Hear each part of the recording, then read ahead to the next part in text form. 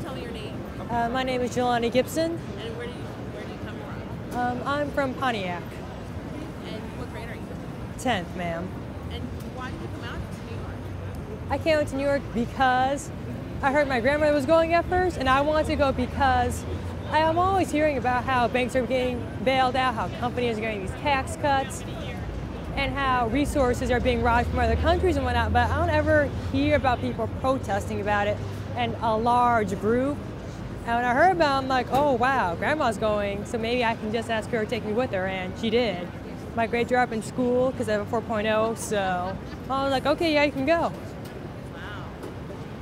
I realized that once the previous generation is gone, my generation will be left with a mess, and it's like, do I really like what I'm being left with here? The first night I stayed in this park, the second night I stayed in a hostel, and now we're staying back here again. It's a very interesting experience because I've never slept outside like that before. Um, but I was still warm because they have comfort here.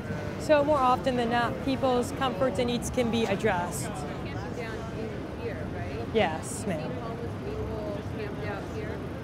I think I have. I mean, some do seem homeless to me and some don't.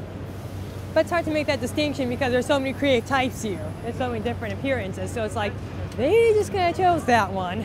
I mean, it's kind of odd when I think about it, but it's like, eh, the guy with the green hair also, there looks kind of odd also, Jelani. Um, would you say like people are taking care of each other here? What's the best thing that you've experienced having slept here? the compassion here. Everybody's always helping one another, everyone.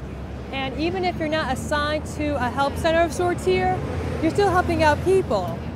And people are just really like, hey, you need something, man? Or, um, hey, I'm here for you. And people are like that to everyone.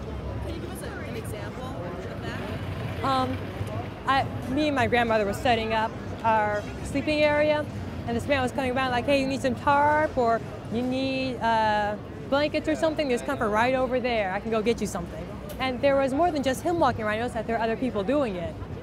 And even when there weren't people walking around, there are other people still helping out other people set up uh, their sleeping area. And that was really nice in my opinion.